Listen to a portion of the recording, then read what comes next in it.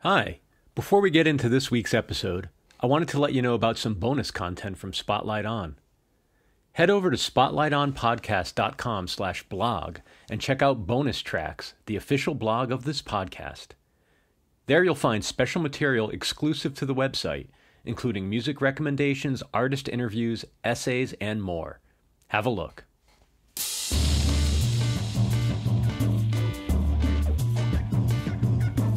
Hello and welcome to Spotlight On, a production of 23 Media Ventures.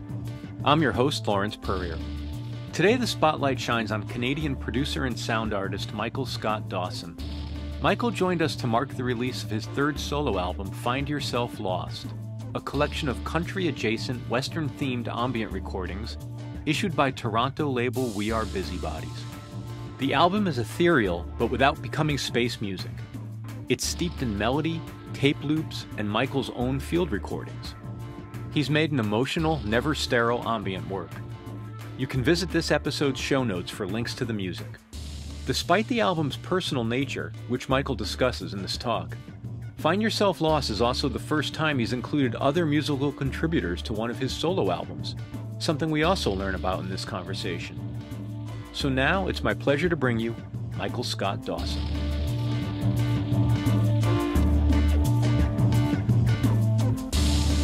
Something that was very sort of intriguing to me was you blew up a misconception or a bias for me, which was a lot of fun. It's always fun to have that done. So I first became familiar with you through your solo work, the more ambient textural type recordings. And I knew that you also participated in the free jazz world. And I thought, oh, okay, the ambient work is a counterpoint to the free jazz work. Great. I get that narrative. I brought a preconception of what free jazz was in terms of being extraordinarily dynamic, bombastic, those types of framings. And yet I found that it wasn't entirely dissimilar from the work you do as a solo artist. And so I wonder maybe as a way to start, could you talk a little bit about, I guess, the theme or the use of sonics across the different projects you do? How do you think about improvised music in a collective setting versus what you do as a sonic composer? Maybe that's where we could begin. I think a lot of the time for me, when I, especially when I'm working my own stuff, like I'm very much just responding to sounds that I'm making. You know, I've sort of found this habit of not a habit, I've grown a practice, I should say, probably. I'm trying to make time each day to sit down and just experiment a little bit and make some things. And inherently, I grow this sort of sonic palette that I've left enough sketches that I hone in on a few of those pieces, and that inevitably becomes an album sort of laying on those pieces. And I think it's a personal connection. It's sounds that are just pleasing. I'm just drawn into them.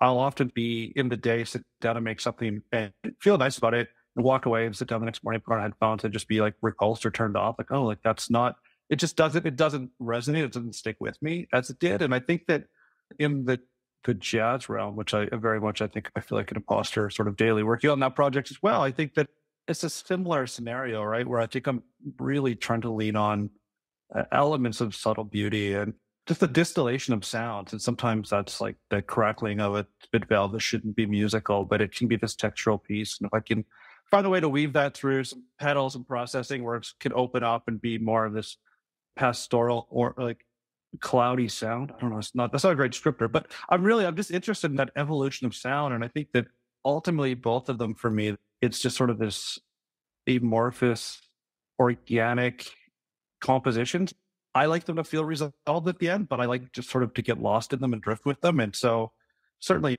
working the Peace Flag, it's having such enormously talented collaborators where it's sort of someone hands you this thing that's inherently beautiful already. And my job is how can I not wreck it, but how can I play with play with the textures that come from within it, or how can I reprocess this and again build that sort of sonic palette that I just find soothing. I guess that's the word I'm looking for. I've really tried to put this into words currently, so I'm struggling a little bit, but that's.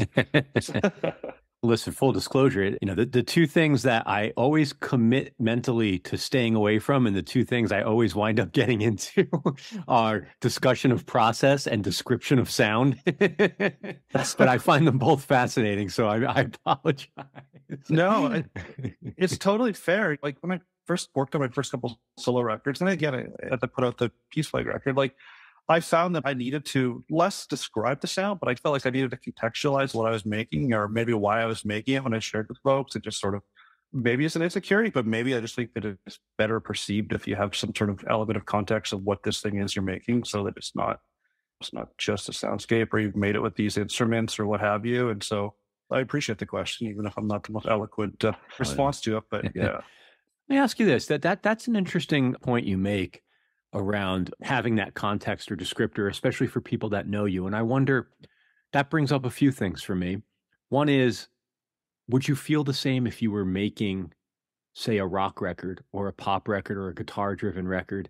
I mean, I guess the flip side of that question is, do you feel the need to explain it because it is perhaps a different type of music than maybe what people normally encounter or listen to, or a different type of music that they might expect from you knowing you? I think it might be a little bit of both. The latter there. I don't think anyone that knows me is, radically surprised that I've sort of gone down this path or that I've leaned, you know, to more subdued and quiet, but also experimental realms of music making. But just the same, I think if it was a rock record, I think it's just inherently more palatable. Folks put it on and compare it to something if they have that point of reference, what have you. And yeah, I think it was, it felt more like an invitation, like this is what I've made and here's how and why I've made it.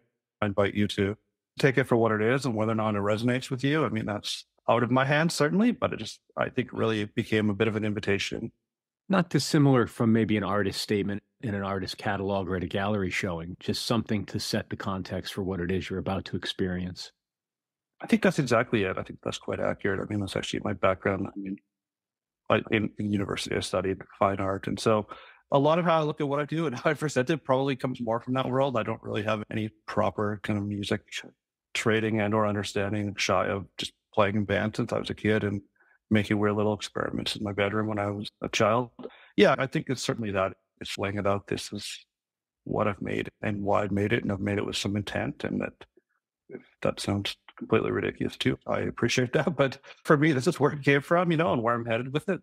How does your fine art training or your fine art studies, what do you bring to the music making here? I mean, just as a somewhat layperson to fine art, if I had to put you in a context, I'd say that the music is impressionistic. Is that fair?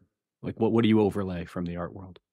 I would agree with that. I think I'm using sounds, I think, that I connect with and relate to a specific place or feeling. I certainly can't project that on others, but that's where it's coming from. And I mean, I don't know. I was actually thinking, I have this memory. I don't know what year I was, several years into university, and in, in a painting class, the context is that now I often will just build like this sort of simple loop that's almost nothing, and I'll just sit with it and let it. It'll just let it play in headphones while I'm doing other stuff, go on my day. Just that's often where I'll end up building a song from, and I'll start with this piece that feels like that, and I'll have these like fairly. It's a loop, so inherently it's rigid, rather than from a tape or whatever. It's maybe not in a logical time signature, but then I'll put these organic elements on top of it, and I have this memory, you know, of uh, I was in this painting class. It was like this, we were free to pay whatever we wanted, and I had this canvas sitting in front of me, and just literally was just sitting there blank, no idea. And I just found myself just staring at this canvas. And I started to like, there's like light hitting this plain stretched canvas and seeing some of the details and some of the little fine weave in it and stuff. And I just couldn't, I couldn't escape it. And so I sat there for like probably a class and a half and always working around me like crazy. And then I went to work where I got out the gesso and I primed the canvas. And then I was just painting to recreate this blank canvas, like using paints and trying as best I could of memory to start with this painted blank canvas that looked like a blank canvas. And professor coming around and seeing me starting to layer split organic ideas on top of it and be like, you know that you need to like prime this canvas before you start. And it missed the process of me laying it out. And I think that's sometimes the same philosophy I have a little bit of music where I want it to almost disappear before I have little things happen on top of it. I want to be able to live with it, but I also like to be drawn into those nuances. And do you find that you take away a lot during your sort of sonic building process? Is that an element of this to you?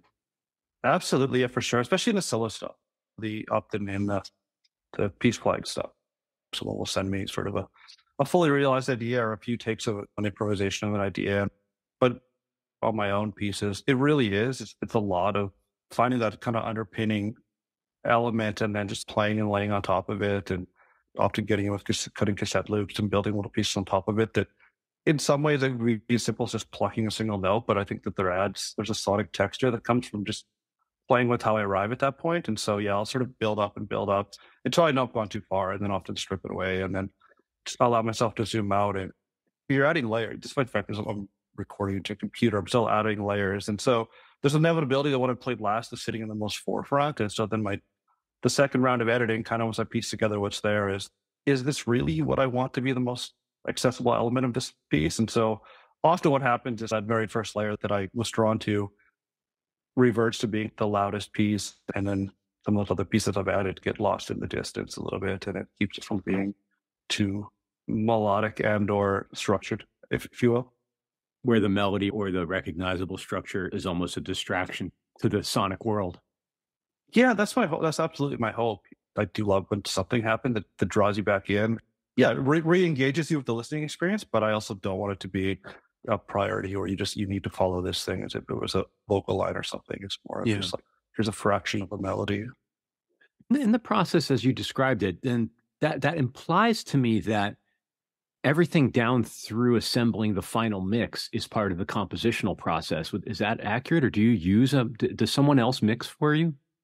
No, I just mix everything for both those projects myself, just at home here, and yeah, it really is. I think that my artistic practice, if I had to say, which is a word I'm trying to cling to and something I shun from my whole I think I it took me till this point, like probably this morning too, to allow myself to consider myself an artist. But it's it's this last couple of years of setting aside daily time to work, work on something. And that often just get up and answer some emails and have a cup of coffee and put a half an hour in before I get on with my day and inevitably lives in the back of your head and you want to get back to it. But that part of it to me is really just exploratory. And I think that a lot of the composition, most of the composition comes from the mixing process. And, and uh, yeah. more often than not, that mixing makes me then want to revisit what that composition looks like and I'll add another layer and I'll find a new little sound that I wish carried forward in the rest of the records. And I'm going back through it all. And so it's, I think that's part of the process for me. I think what, what I enjoy about it is that I'm probably overcomplicating for what the end result is, but that's, it's the, the element of fulfillment I find for myself in doing it that way the analogy I, am tempted to draw at the risk of putting words in your mouth is that the mixing process is very much akin to the arrange like that that's the arrangement. In your form of composition mixing is equivalent of arranging. 100% yeah. That's i think that's yeah. exactly right.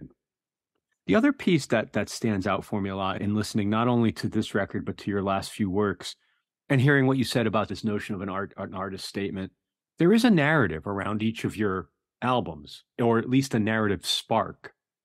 Whether that's post hoc or not is something I'd love to ask you about, especially given how you say you live with some of the sounds, some of the repetition, you develop that way. I'm really curious about not just the process, but the genesis of a project. Is it this theme and concept that you can't get out of your head that you then develop a sonic world around? When do the narrative and the sonics converge? To me, it's this sharp opposite, but just happens naturally in that early stage where i finished up one project and set it aside and set it off to be pressed in all those months that you live in in the ether waiting for a record to come out. I just find myself going back to sit at the computer and and just as I'm just beginning to make those sounds before I'm even thinking about a record, you know, I think the last record I had 45 sketches or something as ideas and come to a dozen of them to fully realize them. And as you do that, from that very base level, it just starts to remind me of a feeling or I start to chase a feeling a little bit. There's an element of sentimentality, I think, for me, just learning to really appreciate where I came from, where I grew up, and it, it's helped me kind of revisit some of those memories. I think is sort of anyone who grows up in a smaller center and, and your interests aren't necessarily present in your surroundings when you're growing up. There's a certain element of, of resentment, you know.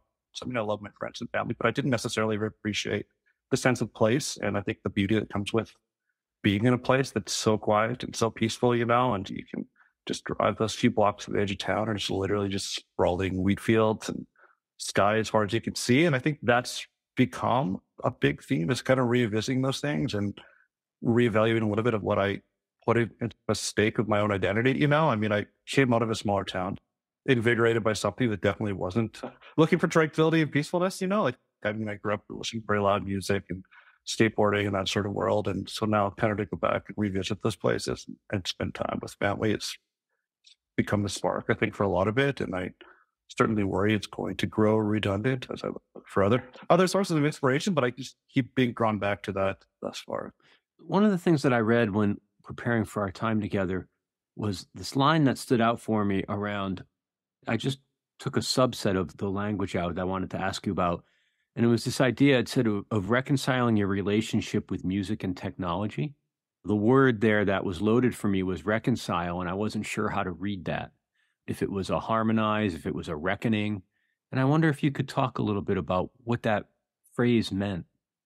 On both sides, I think it really it, it means to make peace with. And uh, it's nevertheless become to reinvigorate a relationship, I think. But at that at those points, those early days, when I started working on these projects, I'd been playing in, you know, indie rock bands for years and touring what felt like constantly, you know, I mean, a couple hundred days a year, often on the road. And and I had really I'd fallen heavily out of love with performing.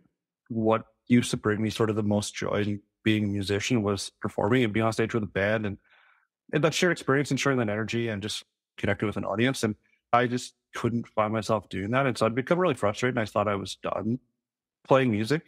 On one hand, I just hadn't lost interest really. I wasn't terribly, wasn't really sparked to make music. And then on the flip side of it, going back now 12, 13 years, I uh, had started to make a solo record, which was so long ago, which is a bit derivative of this. It was a little more sort of experimental beat based, but certainly sort of an ambient mellow project using a Fender Rhodes piano and some stuff years and years ago. And I was fairly deep into it and was a steep learning curve of working through it as a student with very, very little expendable dollars. And what happened was that my uh, computer literally caught fire, like it filled the room with smoke and melted and I wasn't wise enough to have a hard drive. And so I, at that point, I, I like was like, I've washed my hands of this world of recording and building records myself. And so we started another band a few years later and in that realm, certainly we just show up in the studio and kind of participate. Here's my synthesizer contributions, and I'd write other lyrics for that project, and, and I could be away from the piece. And so it just happened naturally where I had set up a little home recording piece and was just really fooling around.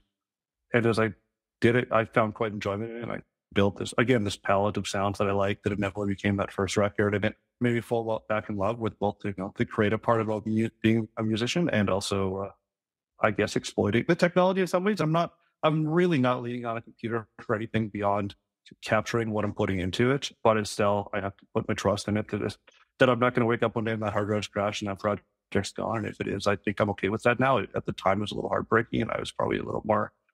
I think that this project means more to me now than that did. But at that point in my life, I think it it just hurt more. You know, it, it was this thing that I really felt like I'd put myself on the line and I was, I'd built up this thing to do this and fell apart. Anyway, that's a convoluted answer, but I mean, that's really what it is. It's like a, through this, truly just playing and experimenting and really playing just in, in the playful sense, not in the, you know, sitting and shredding on a guitar, but just truly just being playful in a little studio space. I've really fallen in love with not only making music, but recording it and mixing it. It's really incredible that to hear you say that the computer is essentially your recording device. Because I, I was going to ask you how much of the music you make and the sound you create is in the box versus instruments in the room. And so I think you answered for me that the, you're taking advantage of the computer as a studio, but or as a recorder, but not necessarily as an instrument. Yeah, that's exactly right. In some ways, I think I'm doing it in this very counterintuitive way where I'll be using a four track cassette recorder and that's just a mix of those four sounds and I'm happy with it. And then I'm just filtering that into the computer to try to capture what it is occasionally there's a little bit of EQing and some of those essential pieces that go just into navigating things I couldn't clear up ahead of time or making space. But there's very few, especially on my solo stuff, there's very few sort of plugins and bits and pieces. The piece like stuff I've had to force myself to become slightly more savvy just in navigating folks recording live instruments and bits and pieces and putting it all together. We'll be back with more Spotlight On after this break. And now, back to Spotlight On. Do you ever record currently or in, in a group environment anymore, or is everything done through remote collaboration? It's mostly through re- remote, which wasn't entirely intentional. I think on my solo stuff, it just was just me wanting to do it. And I do enjoy that, for sure. I mean, the Peace Flag record, the first one, myself and John, who plays piano, and we've collaborated on a couple more ambient works earlier on. we just got together and we just literally tracked these few improvisations and, and what he did was what we built those tracks around. I think there was an intent in there. We did initially get some folks in the room. And so much we all don't want to talk about COVID. That sort of happened. And so this time around, we like that process. I really like the freedom in that project that like the whole intent is let's let everyone lean into their own instincts and let's let them celebrate what's the best of what they do or the, what they want to put forward and share with us. And so this new record we have coming out this summer, there's some drums on it and we all got together and sat through it, but we actually weren't there when Mike tracked the drums. We just sat down with him after and kind of chatted through some ideas and stuff. I quite like that. I mean, in playing in a different indie rock band deliver for years, like you're all in the room, you're working stuff out, and either someone grows attached to something because you've heard it enough times and that's how it should be, or someone has an idea that they come up with that they're excited about, and maybe it doesn't best serve the song or whatever it is. And so the whole intent with that project is let's we know all these people, and I think they're all wildly imaginative, talented. Let's try to celebrate that, and then them all allowing me the freedom to mess with it in some instances, sort of destroy some of those contributions after the fact. I think that those melodies, those ideas survived despite the fact that it may not sound like it did when they handed over those files. And so I'm certainly open to it. I, am excited. I've kind of been ruminating on this idea that I'd like to get in the room with some folks and, and sort of walk away with the record at the end of a day or two. But uh, I've also really enjoyed just to lose myself in headphones with someone else's creativity in that, that project. So it's interesting that the idea of creating that distance in time from the sort of act of laying down your track and then getting your collaborators' reaction and seeing what they did with it, it takes maybe some of the heat of the moment out of it in terms of you might not be open to your collaborator reacting or using your source material a certain way if you had to think about it and re- and respond in real time. But when something goes away for a while and comes back and you see what they did with it that's almost more exciting than controversial. I, I, would think.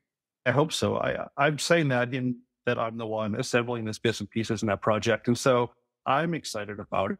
There's certainly there are things I could have never done on my own, or I would have never thought to do on my own. And in this collaboration process with everyone that I work with, I really like using an input as an output, like taking something they've recorded and then sending that back through and processing and playing with it, rather than you know, it's sparking an idea and I can play it on an instrument, but it's far more fun to to see what I can build out of it. And it's really great. It's, it's like to share it with everyone after the fact. And I think sometimes it takes a couple listens because it's not what you may have imagined, but it also, it, I think it fits together and it feels coherent. And I think that everyone's ideas are equally messed with, for lack of a better word. Sometimes, you know, like it's not a, it's not trying to hide anything that anyone's done. It's like, how do we build this cohesive little thing? And I think that it's done in a way that we could certainly get in a room and quickly figure out how to perform those songs and recreate it on the jazz side. My own stuff's a little trickier in some facets just because there's more layers and I have hands sometimes, despite the fact that it sounds like next to nothing's happening. What, if any, role does humor play in what you do? I think a, a fairly substantial part of it. I can only take myself so seriously. It's not like a mad scientist project where I lock myself away believing that I have some brilliant idea or some brilliant scheme to, to concoct this thing. It's certainly not. It's just me and my personality, I think. I'm totally not just a musician. You know what I mean? I'm, I'm moving towards a fully evolved or fully realized human in some capacities. But in that, I think that uh, a, the biggest part of it, I think I do rely on humor. And if hopefully comes through sometimes in some song titles, particularly on the Peace Like record, is that here's a project and played our hearts out a little bit, but also it's we want to have fun with it. And I think the music is equally playful in some. I, I was prompted to ask you that question because I was listening to Music for Listening, and the opening track I think is called No Rave it, it just made me laugh. it was just it was it was not a rave. There was no rave. It was it yeah, was beautiful, beautiful pastoral sound, and I said, "This is definitely not a rave." yeah, it's that record. It's really it's field recordings and guitar. The first one that I was working on, it, I built it around these generative synthesizer loops that I was playing with, and I made the record without telling anyone. I didn't even realize I was making a record. It just came together, and then felt a little bit accidental but I just was, I kept telling everyone, you know, I've made this record that I'm going to put out and it's, it's an electronic record. And that's in my mind, that's what I was thinking because I was built around synthesizers and that was, uh, it was very misleading, which is, I think, again, why I lead to this context of trying to explain, not so much sell, but explain what the project is. And so it was really making fun of myself a little bit that I kept calling this electronic project when it truly it wasn't. And it's, it's the farthest thing you can get from, from a rave, uh, you know, in a past life, I was the artistic director of a nonprofit organization in a venue that we ran, and we would hold raves, and no one else in town would have raves, so we'd have raves a few times a year, and it was just so far out of my uh, my wheelhouse and my constitution to to work these events all the time, and I certainly saw a, a beauty in it, and it's exciting, and I feel like I've experienced that culture, which is not necessarily mine, and I can confidently say that my music is no rave. Yeah. I'm so glad I got it. I'm so glad I got the joke. Thank you. um, well, along in a similar vein, what role do the titles play in the song? Do you compose to a title because you have a clever line in your head, or do you? I, I love having this conversation with, especially with instrumental music makers. Some people have told me they don't even name the songs; they hand over a tape and somebody else does. Others start with very specific thematic inspiration because of song titles and everything in between. And I, I wonder where you sit they come to me fairly early on in the process of each piece. Like it gets assigned a name. I'm horrible at file management, so often there's a dozen versions, version two, six, seven. I'm trying to find the right one, but the name is sort of the piece that sticks. And in every project I've been involved in, I think, or most of the dozen bands we play with, grown up and whatever, I was also the lyricist in a lot of those, and so I never sang in a band, but I always was tied to words, and I, so I have a hard time fully removing it. And I think it helps paint the picture maybe, or you can using two or three words, you can tell a story or allow someone a little bit of insight where it's coming from. And so a song starts to feel like the title and I stick with the title and it, it helps shape, I think, what the song becomes in the end. The way your biography describes you, one of the things it says you are is a community builder. And I, I wonder, what does that mean in the context of what you do? That was a term that someone else used that certainly felt uh, flattering to hear someone say that. And it stems from that I've been involved in the arts sector and the nonprofit world for all my, I guess all my life really. Since leaving high school and working jobs while I was going to university in those pieces. And, and it's about working to bring folks together, whether that's for a shared goal or a shared interest and or a shared goal. so sometimes where we were sort of the, the avenue in which folks who put on all ages shows, which I thought was such an integral part of the community where it's what will do that. And, and that's just really carried on. I think it's such an important part of it. Yeah.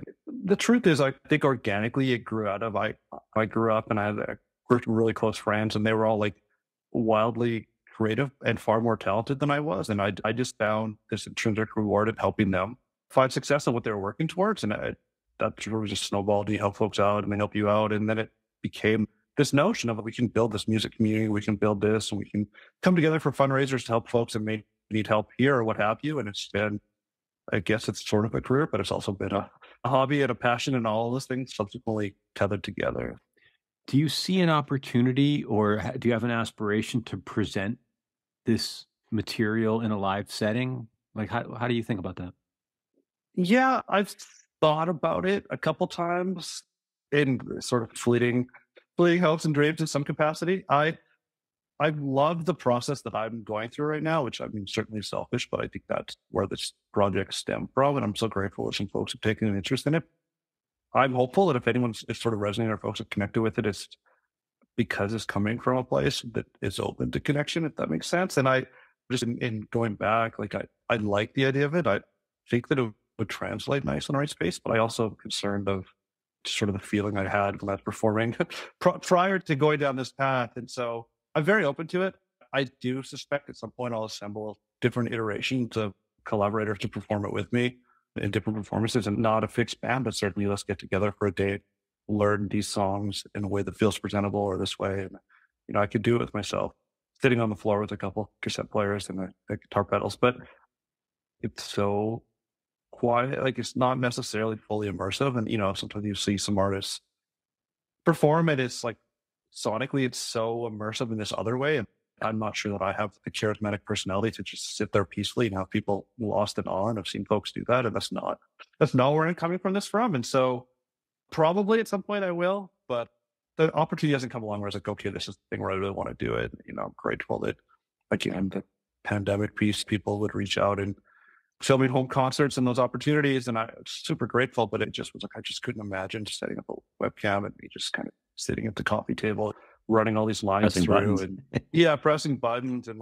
shaking pine cones. And it's like, it makes sense when you put it on as a whole picture, but watching me do it just at home like that in the mid afternoon with my dog barking in the background just didn't feel like the proper translation of what I'm trying to build. I have to tell you, there were points during the pandemic that where that might have been exactly what I needed. I just sit back oh. and watch a nice sound collage get created for me. and if I'm honest, you know, I mean, there's certainly there's hundreds of artists that do that. I would have watched them do it for sure, and I just don't like. I think it's maybe it goes back into the piece of humor and just I'm not something about my personality. I'm just not ready to to be that person. You know, it's interesting. There are actually a couple of groups. I, I live in the Pacific Northwest. I'm just outside of Seattle. And there are a couple of groups that have been putting on events up and down the West Coast, basically in the major cities, presenting ambient and other, yeah, I guess essentially just ambient music in interesting settings like churches and other sort of atmospheric places, and pairing the musician with light installations. So there is something to sort. It's it is a more immersive experience. To your point, absolutely. And it's not necessarily like film or screenings or anything like that. It's literally a sound design and taking advantage of the architecture of the room, and it's it's incredibly powerful to witness, and it looks beautiful. It's a great way to present ambient music. Absolutely, 100. percent And I think the whole the ambient church world that they're doing it certainly creates a beautiful special moment 100% and I, perhaps on the flip side, even the, the leaving record scene in LA and the, they do the thing where they sort of gather and have artists perform in a park, it's like a park yeah. on Sunday afternoon. And I think that equally is quite beautiful and a, a, different experience, but also a very nice human way to, to take that in. And so, yeah, I mean, I, I certainly very interested in all those pieces. And I'm actually in Vancouver. I'm from Saskatchewan, but I live and work in Vancouver. And so I do try to follow all those that world is happening down the West Coast for sure. It's quite an exciting time musically. Yeah, it really is. Eh, there's so much talk about the emergence or reemergence of the interest in ambient music and why now. And uh, you know, it's it's a fascinating discussion. It's really fun to watch people try to experiment with presenting it live, not just in a conservatory setting, trying to make some kind of a spectacle or event of it. A couple other things before I let you go. Do you use prompts at all? Like I think the classic of the oblique strategies deck or something like that. But do you have any kind of game pieces, or is there anything like that that you work with? Eh, again, going back to a rock band setting, a rock band setting, like we would play on the, the Uno card sometimes in that realm. With my own stuff, honestly, it's most of my prompts come from listening. And what I just had really gone into collecting sound and, and field recording before I started making these records and just being in the world and listening in the world. That's really what triggers a lot of things for me is taking a walk or I, I go for I go for runs quite frequently and we'll hear sounds and more often than not stop and record them and use that actual sound, whether it's like textual things of whatever that may be, like something flapping against the chain link fence, then it's not a beautiful thing to see in the world, but the sound that it makes is quite quite lovely if you take the moment to hear it and, and tune into that. And so really I'm using sound prompts that I'm hearing elsewhere in the world more often than not, sort of that, directs a lot of what I'm doing and a lot of the, the sound I'm trying to make or recreate. And I've just found in this third record that's coming out, I've found through the process. The first one, I had all these recordings of bicycles and just bicycles in Germany, and they're running over cobblestone, and they make this clicking sound, and that sort of became a percussive element that runs through that record. And then on the second one, I just somehow grew compare. I had all these bird recordings, so I made the second record around the, the recording sort of lived, and I played to them. And there's some strange film familiarity. And then this third one, there's like a similar sort of clicking with this rhythmic pace that happens, and it it was uh, just sort of me with a guitar playing with pedals. And I found a sound and it, I've swept myself into a really tiny corner where I'm using a lot of a lot of the same sounds, but I'm I'm I'm arriving at them in different ways. And then I'm like, oh, I love that sound, or this reminds me of this thing I did that I felt was successful. And so I'm making a lot of the same sounds in different ways. I guess is the point. And they, they mostly arrive from things I hear in the world, and then I either I use that and then I come to it from processing sounds. But that's something that I found very fun and enchanting as a listener, especially of the new record. It's not like it's a, a puzzle or a challenge to solve, more just observing that it's not necessarily obvious what's generating any given sound. Now, obviously, there's there are elements where you can hear the more guitar based sounds, but it's fun to get swept up in that and to be in a world that is comfortable but also unfamiliar there's an excitement in that, you know. That's what I find in a lot of music that I listen to. And so when I'm making it, I'll often play a piece and I'll just steal like a, tiny little moment that probably is the piece that should be edited out. But as a standalone little element, I think it, you know, it adds this sort of sonic curiosity that I, I'm very drawn to. And so, yeah, it's never really about taking a sound. I mean, using our process, I'm really just sort of running it through tape machines and pedals. And it's not really about making it as big or nothing's getting bombastic by any means. It's often the opposite. How do I take this sound that's inherently sort of a large sounding thing, like a big piano, make it feel as tiny and frail or fragile as I can, but still communicate some element of emotion. And so, yeah, a lot of it's dissecting those sounds to do that. And the new record is the first time that I've had folks collaborate on it. And I intentionally, I didn't let anyone hear what anyone else had done. I just sent them my sketches of the songs and had them all play. And then everyone was just open to me completely dismantle whatever they sent. And so it's all been rearranged and cut up and chopped up. And again, it was that idea of what can I make this into? It's already something beautiful on its own. They've played these beautiful passages. I'm trying to allude to an idea of a passage without having to play it. You know what I mean? Yeah. Often it's like a two note calling it a melody, but it's just a two descending notes and your ear sort of leads you down that tumbling path till the time it happens next. And so doing it with someone else's sounds was quite, quite fun and invigorating and in some sort of strange, strange, sad way for just a man with a cup of coffee and some headphones sitting at his desk. Do you feel an obligation to tell your collaborators in advance what you're going to do? Not specifically what you're going to do, but that when they receive a file back from you, they shouldn't expect to hear, say, that lick they played or the line they laid down? Or are they willing collaborators in that regard, or, or do they have no idea what you're going to do? In this instance, they had no idea what I was going to do. And I actually haven't showed them the record yet. Like it's coming out next month. And so I just made it and I just kind of proceeded ahead. I, I think I got nervous. Uh, to be, I mean, and so everyone I've invited, I know in different facets of this project, and they're all great players. And they mostly come from playing country world or they know they have projects that are certainly in a local direction or what have you. I was confident that I would just set them free and tell them kind of what I, you know, what I was not even musically, just for what I was thinking, what my inspiration was. And then I made it and I was like, oh, this is very different than what they sent me. And I think that they'll all find it curious, but I just was like, oh, I just got to, I need to commit to sending it off or I'm going to, I'm going to bury it on my hard drive with all the other things I make that I bury down there and the piece like record, it's, it's a very different process for sure because everyone's sending me full pieces that that is their contribution to it, and I love that, you know. And so it's such a different thing for sure. Where I'm trying to sonically show it together more so than build something. Yeah, I love the idea of the how did you say it? The input as the output.